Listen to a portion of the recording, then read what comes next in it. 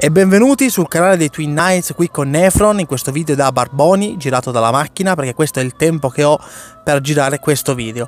Allora ragazzi ho appena finito di guardare la premiere di Diablo Immortal, una premiere durata una decina di minuti, siccome noi siamo professionisti del settore ho preso degli appunti che sono molto precisi, potete vedere la mia faccia mentre eh, guardavo la premiere e degli appunti molto ordinati, schematici e già tanto che ci capisca qualcosa io.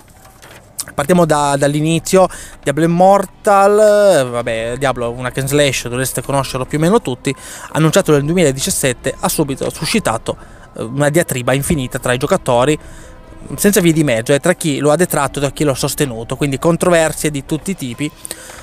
Eh, personalmente, pur sapendo benissimo che si trattava di un metodo per ingannare l'attesa di Diablo 4, eh, ho sempre, l'ho sempre ritenuto un gioco con molto potenziale perché eh, pensando a Diablo 3 lo stile di gioco e come è organizzato il gioco anche in endgame ben si sposa con la portabilità di un telefono, di un tablet, no? Quindi lo trovo valido su mobile. Nonostante alcune cose per chi ha giocato a Diablo 3 ultimamente, eh, già solo il farming degli oggetti antichi non si sposa con, con il mobile, cioè è troppo lungo, ci vuole troppo tempo e in generale tutto il farming che non va tanto bene con le esperienze d'uso mobile.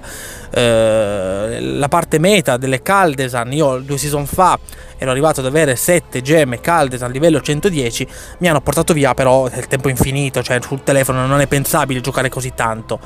Eh, quindi questi sono gli unici dubbi, perché per il resto come numero di abilità, come... Ehm, come gioco, come tipo di visuale, secondo me si sposa bene con il mobile. Arriviamo quindi alla primissima novità incredibile eh, di questa premiere, cioè nel senso che comunque io non me l'aspettavo. Diablo Immortal uscirà anche su PC. Ok, questo ci rende eh, sicuramente perplessi. Uh, da una parte, possiamo dirlo con certezza, diciamo addio a Diablo 4. Nel senso che almeno nel breve periodo non vedremo Diablo 4, non c'è neanche possibilità di vederlo con un Diablo Immortal che esce su PC.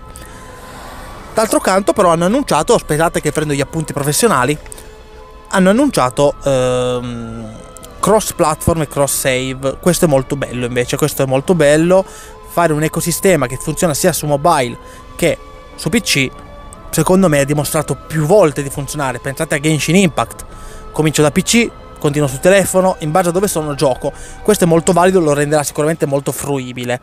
Eh, non sappiamo molto sulle, sulle, sull'esperienza d'uso, sul gioco in generale, perché si è visto poco. Possiamo aspettarci, dalle parole del, degli sviluppatori, un'esperienza molto molto molto classica comunque. Ho visto 6 classi giocabili per adesso, sistema di loot, eh, mob, eh, che richiamano abbastanza gli stili che abbiamo già visto, quindi nulla di trascendentale. Non ho visto novità di rilievo cioè la premiere non, non, le ha mostrate. Se ci saranno, ve lo faremo sapere. E...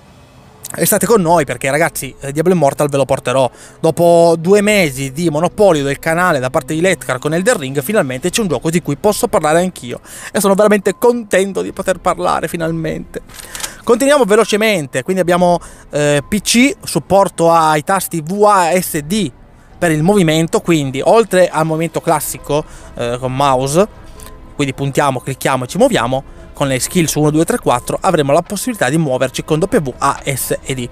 Gli sviluppatori, lo sviluppatore, il mm, giapponese Cicciottello, non, non, mi ricordo come si chiama, che parlava di, uh, del PC, della versione PC, ha messo con una certa enfasi abbiamo aggiunto il supporto mouse e tastiera per il PC.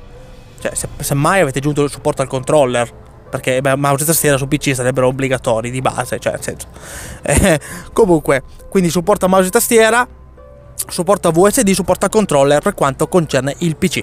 Su mobile abbiamo il touch e il controller in base alle vostre inclinazioni, quindi eh, ci sarà subito supporto al controller dal primo giorno di uscita.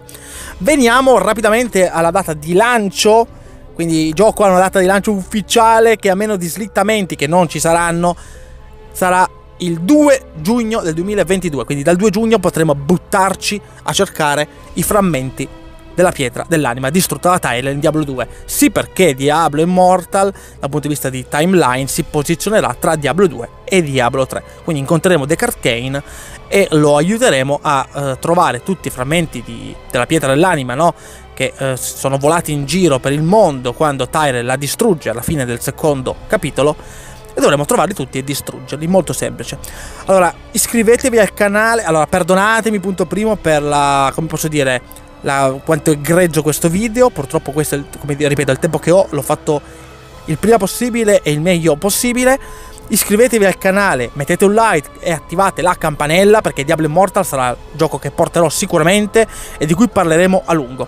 Fatemi sapere nei commenti cosa ne pensate di questa premiere, se l'avete vista, se non l'avete vista, eh, cosa vi aspettate dal titolo, quali sono i vostri dubbi. Mi piacerebbe creare una discussione, no? parlarne insieme a voi. Vi saluto e ci vediamo al prossimo video eh, da Nefron e dai Twin Knights.